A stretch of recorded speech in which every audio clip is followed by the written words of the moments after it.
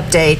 Well, there may be less red tape when Haggen stores close by the end of the year and other businesses take over their spots. And we checked today to see what city and county officials can do to speed up the process, if they can do anything. News Channel 3 senior reporter John Palminteri joins us live from Goleta. And John, they have cut through the red tape before. And we're in front of the Haggen in Goleta off of Fairview. And this store is expected to flip sometime between now and Thanksgiving to some new owner that hasn't been named.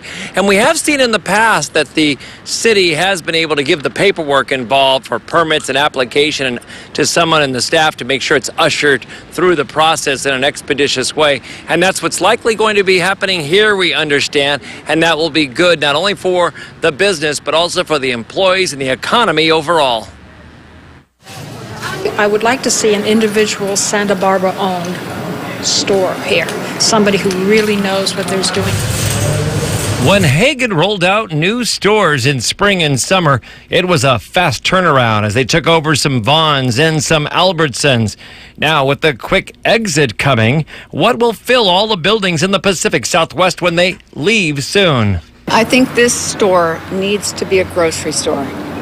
And I don't want to see it go away and not have any other options. Yeah. That's what I want. At this Santa Barbara Mesa store, customers said they wanted a good fit for the area, and they were concerned about the workers holding their jobs. I'd like to see something, and also was it's going to provide employment for the people. Mm-hmm. You know, so that's my beef. In some cases, city and county paperwork can be expedited to help a new business. Goleta did that with some permits and approvals recently to get the changeovers on their way. But it's still to be seen who will be the new tenants. You know, as far as I know, they don't, they can't tell people who to come in, who not to accept. Yeah. So it's up to, you know, the individual community. One customer certainly wanted enough organic choices but not any attitude or excessive pricing when she walks through whatever will be the new store. It was a totally cool school, store and not too expensive and not too I'm better than everybody else store.